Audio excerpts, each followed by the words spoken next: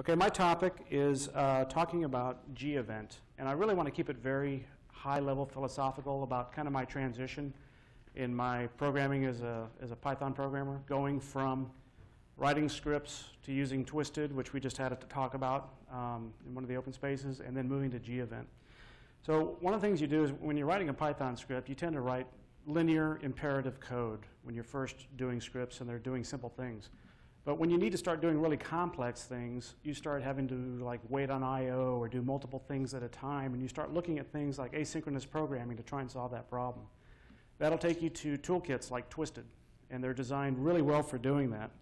Um, what they do is they allow you to initiate an operation, and then you get notified later with a callback when the I.O. is complete.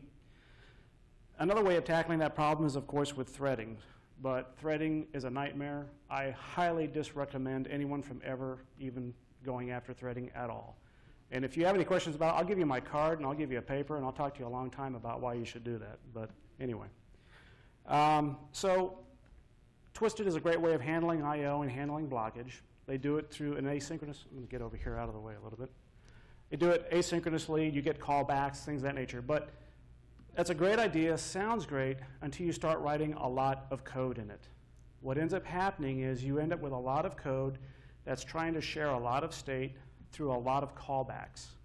And it can be very difficult to kind of track what's happening in your code because you in your mind are thinking of this linear problem that in your mind is synchronous, but you have all these I.O. asynchronous things happening in the middle of it, and it's forcing you to break all the logic and break all the state and carry it in between those steps that can be a very unnatural thing to do. It can be very difficult to debug.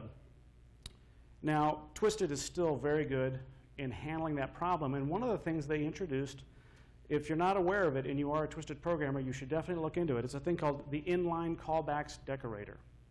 Now, that's a lot of gobbledygook to basically say, I can write a method, and I put this decorator on that method, and I can write what looks like synchronous code.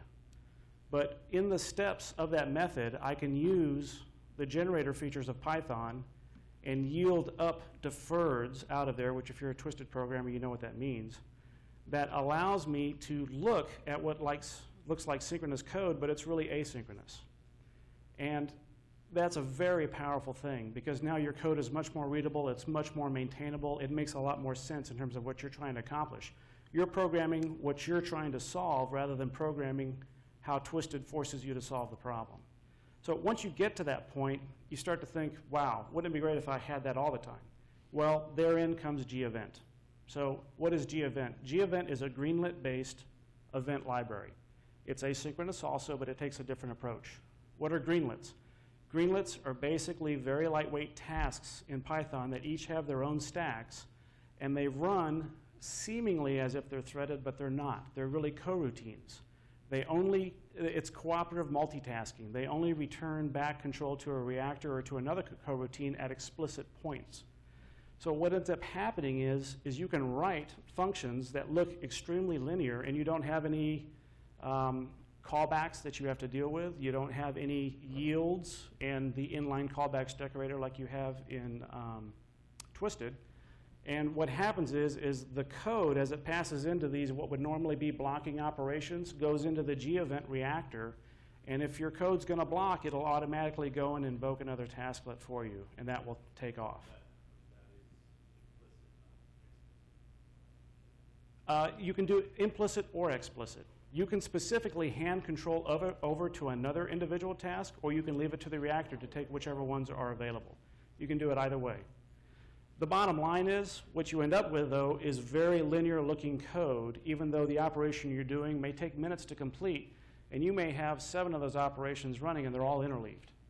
And so I, I as a programmer myself, started in a very uh, linear imperative method, moved to Twisted, and have finally ended up at gevent, and it really is a nice place to be. So if you're ever challenged with those problems of asynchronous multitasking inside of a complex, long-running process, Twisted is where you start normally. gevent is probably where you're going to end up. So I encourage you to take a look at it. Thanks.